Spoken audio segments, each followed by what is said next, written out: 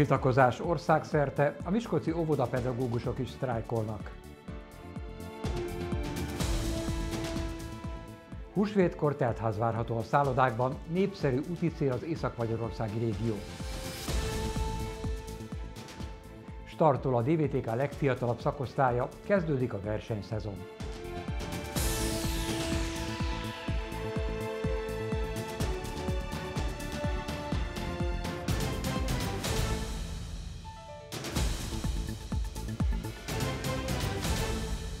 Jó estét kívánok! Kezdődik a híradó 2023. március 16-án csütörtökön 18 órakor. Jönnek a részletek. Országszerte folytatódik a pedagógusok munkabeszüntetése. A Pedagógusok Demokratikus Szakszervezete és a Pedagógusok Szakszervezete csütörtökre és péntekre is sztrájkot hirdetett. Csütörtöktől a Miskolci óvoda pedagógusok is igyekeznek felhívni a figyelmet a rendszer hiányosságaira és problémáira. Emellett március másodikán közzétett törvénytervezet ellen is tiltakoznak, amely szerintük sem a gyerekek, sem a szülők, sem a dolgozók érdekeit nem szolgálná. Süss nap, szabad nap, az óvónő pálya elhagyást fontolgat. Jól ismert gyerekdal egy kicsit másképp. A szöveget a Básony János úti tagóvoda pedagógusai írták át, akik nem csak énekkel, hanem figyelemfelhívó szövegekkel, idézetekkel is készültek, melyeket az óvoda kerítésére függesztettek ki. A dolgozók közül csak nem 20 vettek részt a délelőtti és délutáni két-két órás sztrájkban.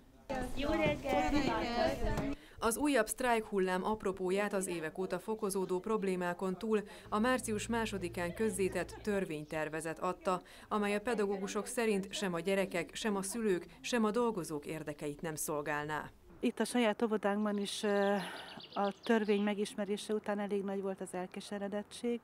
Többen azt gondolták, különösen a fiatalok közül, hogy ők tovább nem fogják ezt a pályát folytatni. Tehát azt gondoljuk, hogy nagyon sok pálya elhagyó pedagógus lesz majd, ami veszélyeztetheti nem csak a mi, hanem más óvodákban az óvodai nevelést is. A gyerekek felügyeletét a sztrájk törvény előírásainak megfelelően megoldották az intézményben, de voltak olyan szülők, akik a munkabeszüntetést figyelembe véve később vitték a gyerekeiket az intézménybe, ezzel is támogatva a pedagógusokat.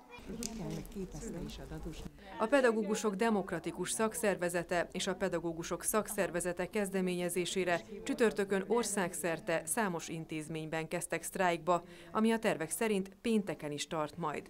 A szervezet óvodai tagozatának megyei elnöke szerint fontos lenne a nagy összefogás és tiltakozás, ugyanis az új törvénytervezet kizsákmányolná a pedagógusokat, és szakmai tekintetben is negatív változást hozna mert akkor kaphat jó minősítést, és ezzel majd valamennyivel több pénzt, hogyha ha az erején felül és a munkaidején felül önként teljesít.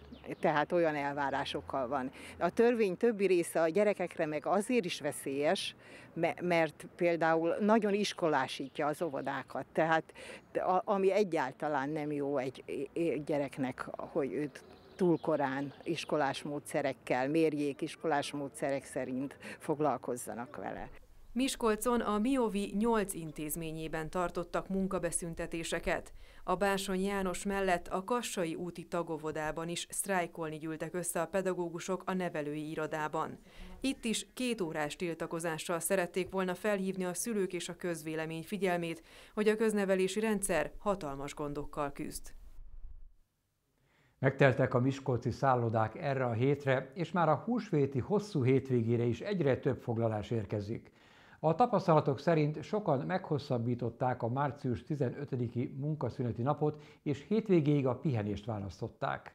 A Miskolcra és a térségbe érkező vendégek száma alapján az ország második legnépszerűbb turisztikai célpontja az Észak-Magyarországi régió. Véget ért a pihenés. Csütörtök reggel sokan jelentkeztek ki ebből a Miskolc-Tapolcai szállodából. Hargitai Péterék hétfőn érkeztek, és a környéken töltötték az elmúlt napokat. A Miskolc-Tapolcán jártam már többször, és gondoltam, hogy ez idénre is egy jó program lehet. Itt a barlangfürdő, a közeli látnivaló akteleken voltunk például, Nagyon jól éreztük magunkat, szuper volt minden. A szálloda kávézójában délelőtt csak a kávégép hangja törte meg a csendet. Ilyenkor kevesen tartózkodnak bent, leginkább egy délelőtti kávét fogyasztanak, mielőtt kimennek a városba. Itt látszanak a szobák, befoglalt szobák, ugye a kékek azok, amik már be vannak, illetve a sárgák, amiket ugye már befoglaltak vendégek, és ez az egy-két szabad szürke lyuk, ahol még van szabad kapacitásunk. A szálláshelyeknek kedvezett egy szerdára esett március 15-e, mert sokan a hét elejétől foglaltak szobát. Nagyon sok ember meghosszabbította a pihenését, vagy előtte vettek ki egy-két nap szabadságot, vagy pedig 15-e után. Nagyon sok vendégünk van így ezen a héten is, szinte telt házal üzemelünk egész hét folyamán annak ellenére, hogy mégsem egy kiemelt hosszú hétvégéről beszélünk. De ha már a hosszú hétvégéknél tartunk, nagyon sok vendég tervezi már a pihenését a húsvéti időszakra. Ennek megfelelően pedig szinte már most lefoglaltak minden szobát a Miskolcra érkező vendégek akik a Hotel Wellness részlege mellett Miskolcon is számos kikapcsolódási lehetőség és program közül válogathatnak. Tavaly készült el például a látványos turisztikai attrakció Lillafüreden, a kilátók királynőjének is nevezett Zsófia kilátót nyáron adták át. Innen pazar panoráma nyílik a palota szállóra és a hámorítóra, de a régiót egész évben érdemes felkeresni. Miskolcról ugye évek óta azt mondjuk, hogy egy négy destinációs város, mivel négy olyan városrésze is van, ami nagyon sok turisztikai attrakcióval rendelkezik, és ennek következtében igazából bármikor az év bármilyen szakába érkeznek hozzánk turisták, akkor tudunk kinti, illetve benti programokat is kínálni. Ez most sincs másként, ugye itt ez a március 15-i ünnep kapcsán is gyakorlatilag beszélhetünk egy hosszú hétvégéről, hiszen nagyon sokan meghosszabbították ezt a hétközbeni szabad időpontot, vagy az előttünk álló, nem sokára eljövő húsvéti hétvége is ilyen. Gazdag program kínálata van a, a városnak, akár beltéri programokat nézzük, akár kültérieket.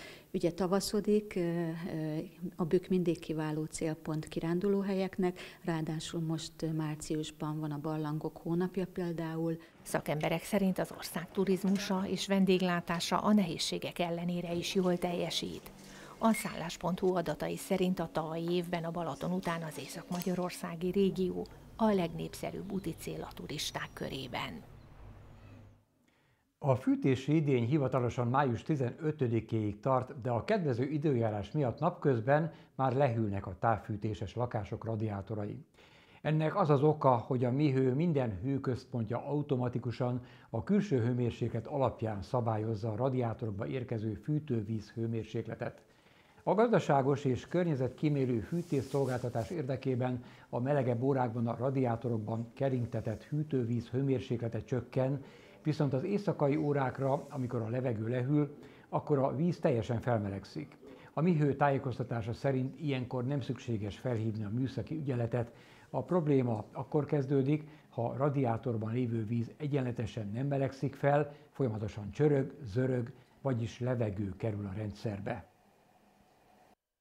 Ezt viszont el kell hárítani, mert ez károkat okozhat a rendszerben, a korrózió miatt kiukadhatnak a vezetékek, viszont fel kell, hogy hívjuk az ügyfeleink figyelmét, hogy az épület belső fűtési rendszere a saját tulajdonukban van, így amennyiben azon tapasztalnak meghibásodást, akkor a közös képviselőjüket keressék, mert ő tudja, ő tud felvilágosítást adni arról a szakcégről, akik a javítást el tudják végezni.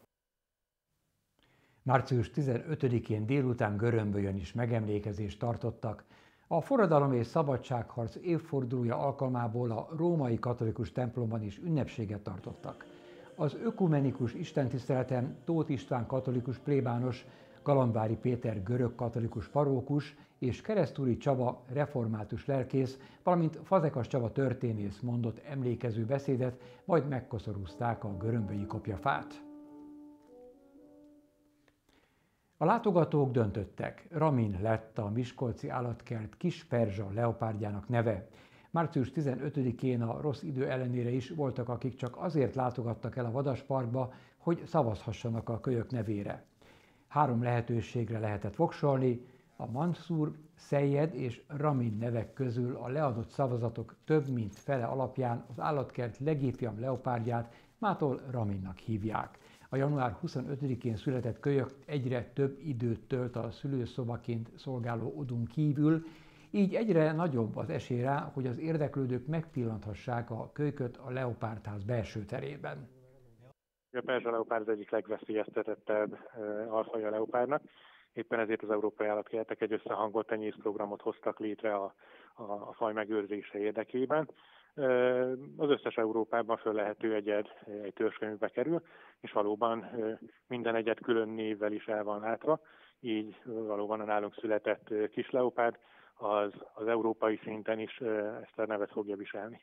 A Ramin az egy perzsa eredetű férfi név, a perzsa mitológiában egy hősnek a, a neve, amelynek a jelentése az béke, illetve öröm, úgyhogy erre esett a látogatóink többségének a, a választása.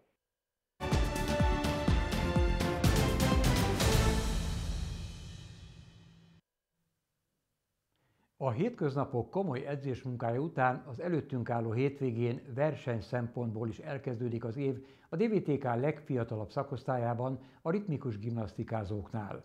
A már régebb óta versenyre járók mellett lesznek olyan sportolói is a Miskolci klubnak, akik a nyári edzőtábor és a téli felkészülést követően először szerepelnek majd sportági seregszemlén. Bár a DVTK család legifjabb szakosztálya a ritmikus gimnasztika, de az egyik legnépszerűbb is, ugyanis a most látható döntő részben óvodásokból álló kezdő csapatba annyian jelentkeztek, hogy egy új csoportot kellett indítani. A ritmikus gimnasztika sporták 2020 nyarán érkezett meg Miskolcra, az első toborzón a szervezők számára kellemes meglepetésként 200 gyermek jelent meg. A sporták 2021 elején csatlakozott a DVTK szakosztályaihoz, jelenleg pedig a legkisebbektől, vagyis az óvodásoktól kezdve a már versenyre járó 14-15 évesekig bezárólag 150 gyermek sportol a Miskolci klubban. Akik már ott tartanak, hogy versenyre készülhetnek, azok esetében már olyan kifejezéseket lehetett hallani, mint hogy akrobatikák és rizikók vannak a gyakorlatokban. Ezt mondhatod te is. Hát akrobatikát, ugrásokat szoktunk csinálni, meg ugye vannak a rizikók, ugye azok a nagyobb dobások, és akkor azok a nehezebb elemek, és azok több pontot is érnek. A már két éves koruk óta együtt sportoló barátnők Dányi Eszter és Juhász Pap Luisa csapattársaikkal már versenyekre készülnek. A sok edzés, gyakorlás után ugyanis a március 18-ai 19-ai hétvégétől elkezdődik a versenyidőszak is. Ez még egy felkészülő verseny a fő versenyeink előtt.